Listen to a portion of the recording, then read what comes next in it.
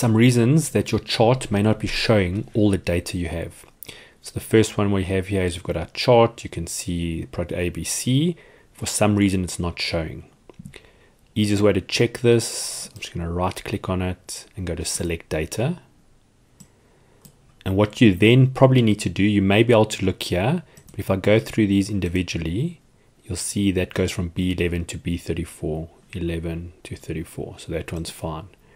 We can then click on that one and you'll see this one goes from 11 to 22. So it's only getting to there.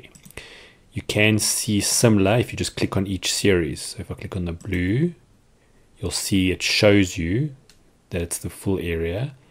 Click on orange, you'll see it's not the full area. So that's the most common reason why it's not included. Another reason is you can get something like this. Looks fine. Let's go and put a big number here, 500 for example, and it didn't change. Again, check it. Charts are notorious when you select data Notice that it jumped to another place where the data was. So this data, this chart is looking at the data on this sheet, not that sheet. So be careful. It often happens what you, where you think the data is, it's actually somewhere else. Another reason you can see here, it's only giving us 2020.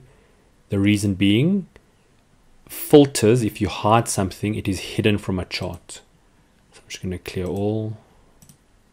So you'll see there it appears in a chart and it doesn't have to be in a filter if someone decides they want to hide this section notice it gets removed from the chart as well another possible reason can see here we've got data we've got a chart when I click on it so I'm just going to click away when I click on it notice it's warning me this is actually a pivot chart. Now I've purposely hidden it. It's actually over here. And when you actually look at the pivot table, you might notice it here, but you can definitely notice it here. There's a filter on it. So at the moment, the pivot chart is showing what's in the pivot table, and the pivot table has been filtered. So when I switch everything on, you'll see the chart shows that. And perhaps a less likely reason, but you can see I've got lots of data and this line just seems to stop here, even though it has the dates.